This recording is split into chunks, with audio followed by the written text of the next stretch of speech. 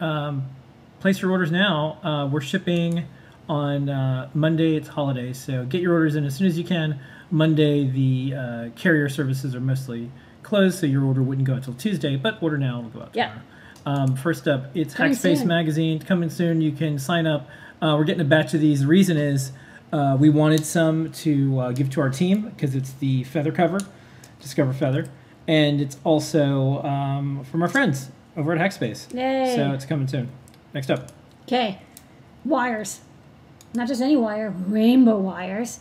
Um, I love wire wrapping wire for you know bodge wiring or like fixing up, or just like wearables or whatever. So this wire wrap wire is uh, super thin. It's uh, 30 wire gauge, and you get eight colors. So like normally you have like one color in this like gigantic spool, but then what if you have like multiple different uh, connections you want to make? Well, what's really nice is that this comes with um, multiple colors. So you get red, orange, yellow, green, blue, purple, brown, black, and I don't know if I missed one, but basically eight total. Um, so all the standard colors. Uh, it's 30 gauge solid core. It's easy to solder to. It's easy to work with. So um, this is now my favorite new wire wrapping wire because like I cut off a different color each time, so I don't have like six blue wires. I'm like, which one is data? Which one's power? It's like much much easier. Uh, with one spool, you only need one spool. Okay. Next up. Okay, next up, these adorable little PIR sensors. Oh, they're so cute. Um, this little PIR sensor is interesting. It's a fully integrated PIR module, but like in a tin. Um, so normally you get like a PIR module that has like the the you know infrared sensor and there's like a lens and then there's circuitry and then there's a logic level adjuster and all that good stuff. So it's really interesting about these PIRs. Is first off, there's two. Uh, there's one on the left with the BL412. That's the, the large um, window, and then the one on the right is the BS412 narrower, smaller window. So like I tried both. They both seem to work pretty well, but I know Yeah. if people have preference. I you know decided to carry both. So it's neat as you can see here on this demo. You only need power and ground, and then a third pin is like on time, like how long the output stays high. Uh, in this case, I've just grounded it. That's the third black wire, and then an output pin that goes high when it detects something, and that's it. I mean, like there's no additional circuitry required. It runs off of three volts, so just make sure you're powering it off of three volts. They'll give you three volt logic. Um, but they're really simple, they're really inexpensive, and they're really small. Then they don't have the range and flexibility of the larger modules, but there's something just adorable about like you just give it power and ground, and the signal comes out, and that's it. Maybe you have a resistor uh, to set the on Yeah. time, but it's For like most easy. projects, this is going to work out fine. Yeah, for most projects, Yeah. this is great. And then if you need to upgrade to like the larger PIR sensor, you can. Um, so good for like you know three to five meters distance, and we give you a little lens cap that I think gives you like either 100 or 120 um, uh, degree range. Yeah. All right. Next up.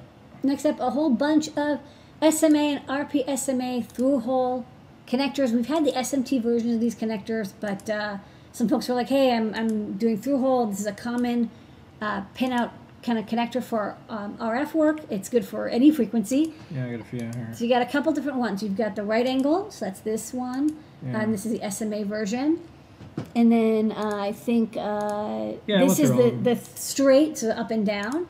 And then we also have an RPSMA one, uh, right angle. So RPSMA is usually used for uh, Wi-Fi connectors. Yes. So just check the polarity of your cable.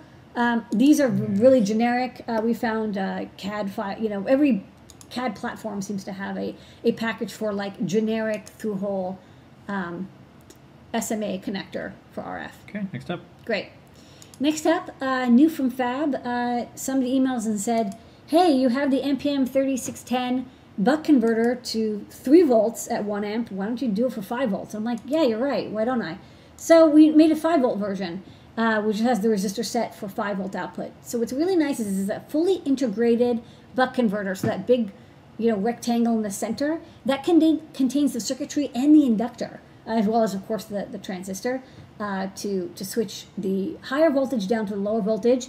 You can give it up to 21 volts, which is really nice. A lot of uh, buck converters don't go that high. They often top out at like 9 or 12 volts. This one goes up to 21. So like you're you're not going to run out of volts. You get all the volts in the world and it'll give you 5 volts out nice and clean and up to 1.2 amps.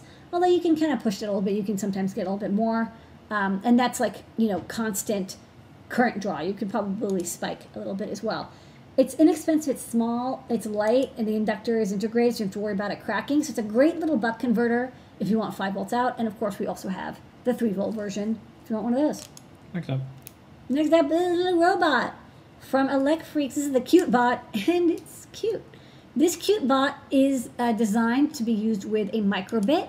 Uh, we'll also be writing some code to make it work with a clue, but pretty much anything that has a microbit, you know, plug and play shape. Um, it's very very capable robot. It's not too expensive. It's like thirty bucks or so. Uh, you all you need is three AAA batteries. It comes with a sonar sensor. You plug the microbit in, and it even has a booklet and online tutorials that will take you through making your own little robot with obstacle avoidance, line following. Um, you know, uh, there's an infrared remote reader on the back. Thought maybe I would actually show off some of this on the overhead because there's there's a lot going on with this robot. So, okay. So it doesn't come with a AAA battery, so you'll need to include those. I'm using uh, rechargeables. You can use alkalines. Um, you can just use any microbit and plug it in here. There's an on-off switch in the back. Um, in this case, I just have it kind of rolling around. There's uh, some LEDs. This is a line following sensor on the bottom here. Um, and it has these debug LEDs, so when I cover up the line sensor, uh, it lets you know. Um, this is a ultrasonic distance sensor, so you can use this, um, you know, to keep it from uh, rolling into a wall or uh, bumping into a hand. There's two RGB LEDs here. Turn this off. Two RGB LEDs here, two NeoPixels on the bottom, CuteBot, uh, two Metal Gear N20 motors that can uh, be speed controlled. Um, infrared receiver is on the back here, so you can uh, use an infrared remote to control it. And um, there's some headers here for connecting additional sensors like power ground, uh, you know, switches or servos or what have you. Um, there's a port for the sonar, and the sonar comes uh, pre-assembled, so you just plug it in. And then there's also an I2C port, so you can add additional sensors if you'd like. Um, the booklet it comes with um, is for MakeCode, so it's really easy. It's for beginners. Um, just go through the lessons. You can uh, use the display to display stuff. You can read sensor data. You can turn on lamps. Um, it's a kind of a cute little book, and uh, it, the text is also online, so you can, if, you know, if you're stuck with something, you can go online and just copy and paste the code. It also comes with a um, this is kind of uh, common. It's a line following uh, practice sheet. So you unfold it, you put the robot on it, and you write the line following example, and the robot follows the line if you did a good job. So it's a cute bot. It's very cute. I do want to mention it doesn't come with a microbit or batteries. We do stock those, but you'll have to um, get them separately. Comes with just the bot. Cable. Next up, cable. Uh, it, it's a cute cable. It's uh, a JST PH 2 pin to 2 pin cable. Same polarity on both sides. If you're using this with, you know, we have it for uh, use with our um, LiPo fuel gauge. In this case, we want something to plug into the LiPo and then, you know, it to like, like chain onto some other device. So this is good if you want to like jumper between two JST um, PH connectors. Uh, it's 100 millimeters long, very simple, easy to use cable. So that's the cable. All right, the star of the show tonight, besides Lady Ada, our community, our customers, and our team is The LC 709203. So many digits and letters. Um, but this is a very nice little fuel gauge and battery monitor chip. Um, I like this one because it doesn't do Coulomb counting. Um, it's it's simple, it's inexpensive, but it doesn't require a resistor in line.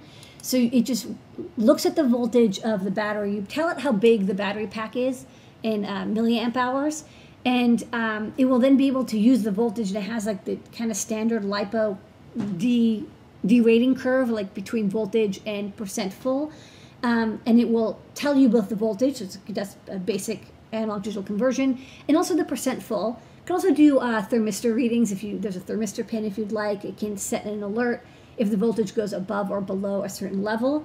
Um, you can just daisy chain it with um, any lipo battery. So in this case, I just have a a, uh, uh, 1200 milliamp hour battery. It's plugged into um, the STEMMA QT board here, and then I daisy chained using that handy cable that I just showed you into a feather. So now I've got the feather um, running some example code. It's uh, using um, this chip to read the voltage and percentage. And so now it's like, hey, you know, you can see it's updating once a second. It's like you're at about 3.7 volts, which is, uh, you know, uh, one third of the way. And then if I can grab, hold on, this cable, I can show you that, you know, while you're charging, you can also uh, monitor it. So now we're going to see um, this voltage slowly creep up as it gets charged. I'm not going to wait till it gets to 100% because it's going to take a while.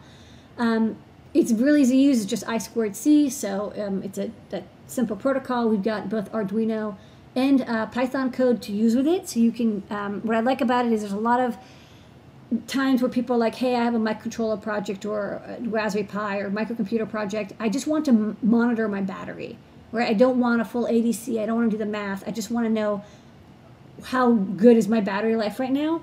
Um, this chip does the job uh, very affordably and very simply. So um, just daisy chain it with any single cell LiPoly or lithium ion battery. Run the code, and uh, you can monitor your battery with ease. Yeah, tune into our upcoming show, Lady Ada Charges Things. Yes.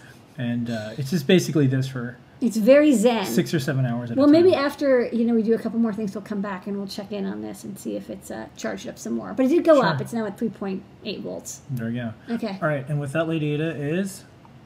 New, new, new, new, new, new.